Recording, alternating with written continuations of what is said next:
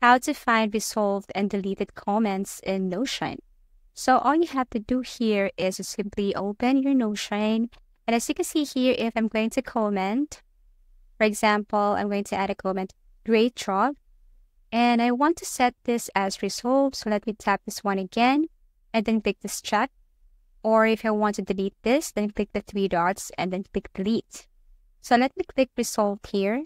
And in order to see the result or find the result and deleted comments in Notion, all you have to do is to look for updates right here.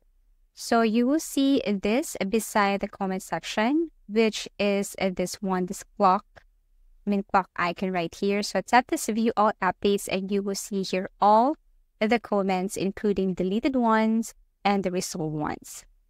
So if I'm going to click this one right here, so as you can see, it is considered as resolved.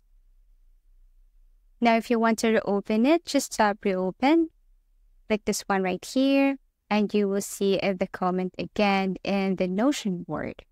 Okay, so that's it. That's how you easily find the resolved and deleted comments in your Notion. You just have to go to updates. If you found this video helpful, simply leave a like below or subscribe because it helps me reach more people. See you soon!